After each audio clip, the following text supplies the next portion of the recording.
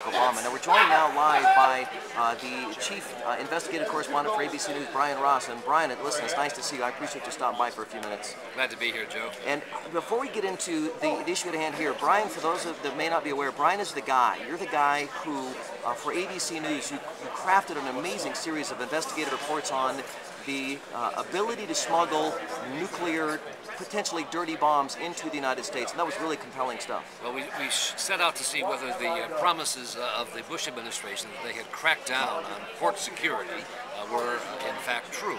So we took depleted uranium, uh, did it twice, first from Istanbul, a known Al-Qaeda center, and we're able to put it in one of those big shipping containers along with a bunch of other junk we bought there, loaded it up, shipped it right through the very best uh, detection equipment the U.S. had. And they first tried to deny it, then admitted it. We did it again a second time, this time from Jakarta, Indonesia, another Al-Qaeda location, and slipped it right through the port of Los Angeles.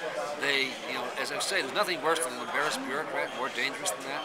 They were furious that they had twice been embarrassed and shown up, but we have since, I think, caused uh, serious uh, recognition of this problem, and they're actually now trying to tackle it with something more than just PR spin. And I would imagine if you were scheduling to a third attempt at this, you wouldn't tell me anyway. We would not tell you, and I think twice is probably enough to prove the point. Because you guys took some grief. People were were concerned that, well, they wanted to prosecute ABC had crossed the line. Right. Well, we did not uh, break the law, and what we did was actually took notes from a captured Al Qaeda figure who was on trial in New York who had planned to do this. So we took his plan.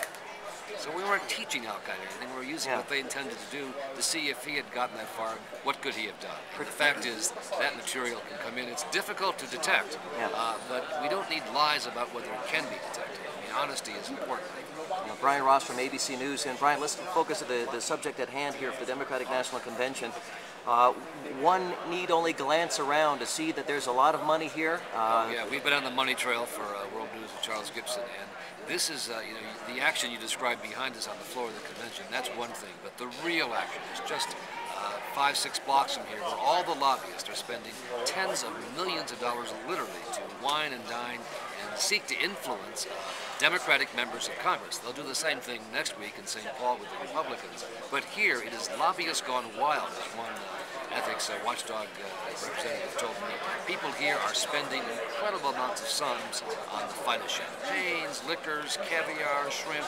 You know, it's not the hot dogs you see in the concourse where we are. It is the best of the best for the elite of the Democratic Party. But Brian, aren't there aren't there restrictions, rules, guidelines, Absolutely. laws, Congress, laws? Yeah, well, right. Congress passed a tough law last year, the Honest Leadership and Open Government Act of 2007, and now they've set about finding the loopholes to get around the laws they passed, and they have indeed found them. For instance, you can't have a sit-down dinner, but you can have a stand-up finger food dinner. So all the chefs here are figuring out how to make their fancy dishes so you can have them with a finger or on a toothpick. That gets around the law. Boy, just a tiny little uh, splitting of definitions and a little yeah. nuances and, and, how it's being right. perceived. For instance, the law says you know, corporations are not allowed to entertain a member. So they say, oh, but we can do two members or three members. It doesn't say we can't do two or three. We just can't do a member. Then one has to wonder if these are intentional loopholes that are left behind there by the lawmakers or if these were unintended consequences and that the lobbyists are exploiting it you know, that's uh, that'll take Sigmund Freud to figure that out. But uh, they certainly have, uh, in a way, crafted the language so it has allowed this kind of loophole to be exploited. Right. At the point in your career when uh, when they see you coming, uh, they, they turn and they start heading for that other door. Well, they throw their uh, hands in front of the cameras. Every single night I've been here, we get thrown out of the nicest places in town because they don't want anybody to know what's going on behind the scenes. In my view, this is the real action at the convention. as Is what is going on behind the scenes where money and power meet. Yeah, because the rest of this is it's a planned commercial. Absolutely, it's completely orchestrated. You know, it's a, it's a four-day-long commercial, and I think it's important to pierce that and see what's really going on. That's what we've been doing for World News. Chief Investigative uh, Correspondent for ABC News, Brian Ross. Brian, I appreciate you coming by, Great and we can we can see more tonight on the news. Every night on World News with Charles Gibson. All right, you got it. Thank you, sir, so much. We do appreciate that. This is the KRMG.